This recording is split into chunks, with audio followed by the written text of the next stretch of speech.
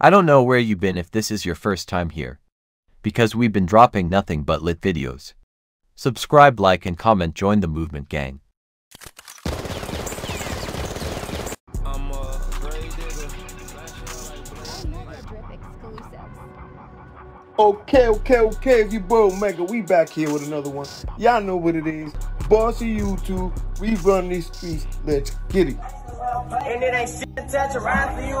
Slide for you, I die for you. I lie for you. I lay down and do time for you. I bust that eye for you. I blow that nigga mind for you. Oh, take a life. Can't lie, that's what I'm trying to do. JaydaYoungan's brother, FG Famous, gets snatched up by the feds as he was shopping for clothes for the funeral. And it's crazy because JaydaYoungan's funeral is tomorrow. And the feds snatched him up as he was getting ready. You know, he was going shopping, trying to get, get the right outfit and all that. Thinking he was gonna go to JaydaYoungan's funeral. I mean, that's not his real brother, but they're my brother, you know what I mean? So you can might as well say they're brothers. So they're arresting him for the get back, for the attempt to get back, pretty much, right? Because right after Jada, JaydaYoungan was shot and killed, he retaliated, came back and shot up the car, whatever, whatever.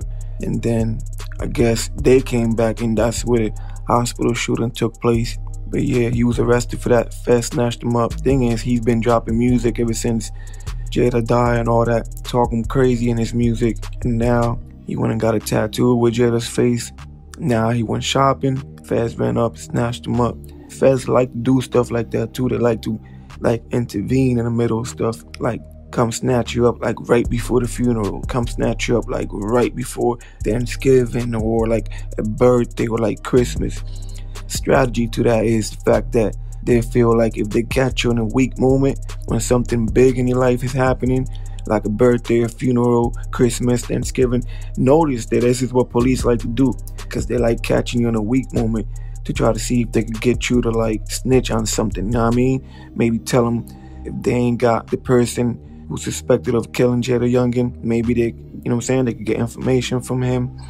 I don't know, you know how that go, but the point is that they're trying to get at people in a weak moment to try to see if they can get them a snitch. And that's just what they do, man. It's crazy because, like I said, in the last few days, he's been dropping music dedicated to JaydaYoungan. He got a tattoo with his face on his on his side of him, you know what I mean? And now he was going shopping, and that was it. They said, no, no, no, you're not going nowhere. Let's go.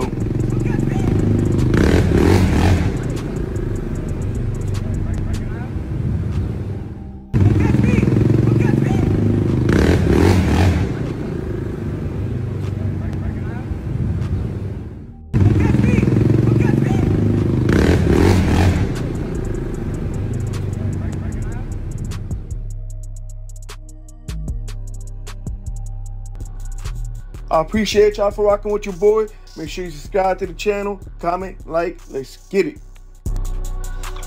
I gotta be the most underrated nigga in these YouTube streets, man. I gotta be.